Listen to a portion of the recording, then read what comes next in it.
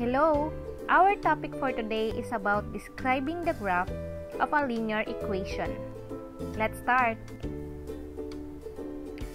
First, kailangan nating malaman yung trend ng graph ng isang linear equation.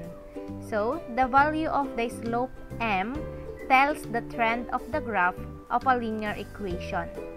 Okay, so malaking factor na kailangan alam natin yung slope or yung value ng slope natin para ma-describe natin yung graph ng linear equation. Okay, so let's have an example. Okay, so dito sa first picture natin, if m is positive, then the graph is increasing from left to right. Okay, mula dito sa left, increasing, ibig sabihin pataas siya, papuntang right side. Okay? Then, dun sa pangalawang picture naman, if m is negative, then the graph is decreasing from left to right. Okay? Mula dito sa left, pababa naman siya. Decreasing is pababa. Okay. So, another technique is pag ang slope natin ay positive, laging pa-check yan. Kung paano tayo nag-check ng mga papel. Okay, di ba? Ganyan. Check. Check. Ganyan. So, it doesn't matter kung sa taas siya banda or dito banda sa baba. Okay, basta yung format ng graph natin is pa-check kapag ang m or slope is positive. Kapag ang m or slope natin is negative, pababa naman siya. Okay? So, kahit dito sa may bandang taas or dito sa baba, basta pababa siya, decreasing mula dito sa left side, papunta dun sa right side.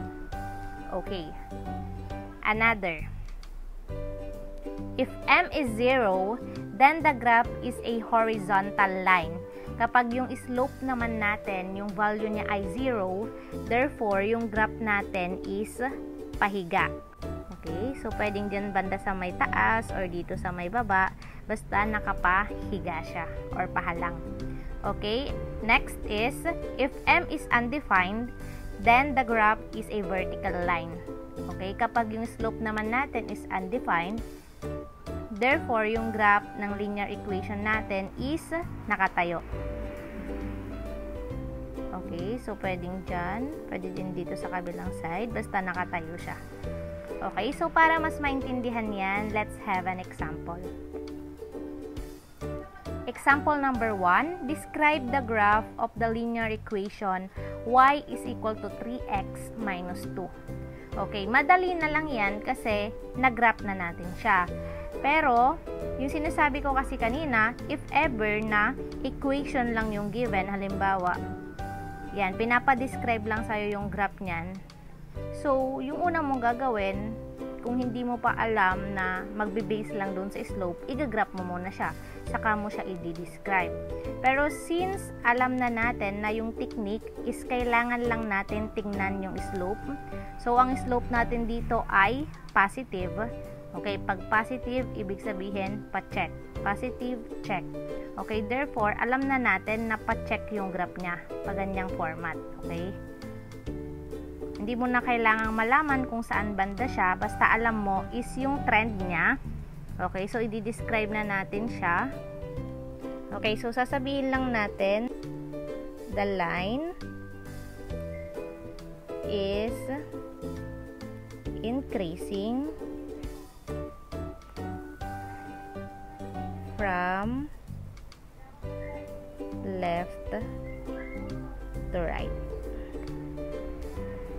Lagi namang from left to right, yung isa nga lang is decreasing and ito kapag positive yung slope, increasing naman siya.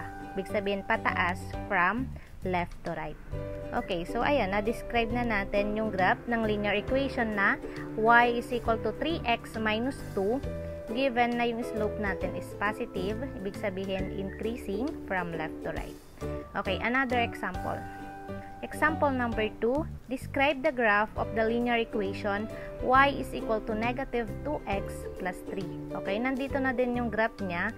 Pero if ever man na hindi natin nakikita yung graph, ibig sabihin, dahil nga yung slope niya ay negative 2 or negative, ibig sabihin pababa siya. So, the line is decreasing from left to right. Okay. So, ang pinagkaiba lang palagi is yung isa increasing kapag positive, kapag negative naman decreasing. Then, palaging from left to right. Okay, so tapos na tayo doon. Then, next, example number 3. Describe the graph of the linear equation y is equal to 3. Okay, so another technique, kapag ang given na value is value ng y, horizontal line ang ating graph. Okay? So, pwede nating sabihin dito na the graph is a horizontal line. Okay, basta yung value na given is yung value ng y. Laging horizontal line yan, okay? Kasi 0 yung ating slope.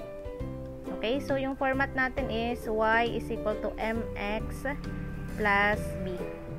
Wala tayong value ng slope.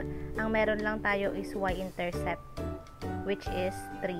So, horizontal or nakapahalang or pahiga yung ating graph. Okay, and last, example number 4. Describe the graph of the linear equation x is equal to negative 2. It doesn't matter kung negative or positive yan, basta ang binigay is value ng x. Therefore, ang ating graph is vertical line. Ibig sabihin, patayo. So, ilalagay lang natin sa description na the graph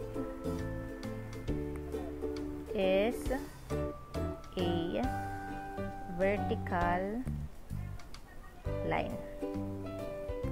Okay. So, tapos na tayo. Okay, thank you for listening. I hope na may natutunan kayo ngayong araw na to. Stay safe. Bye!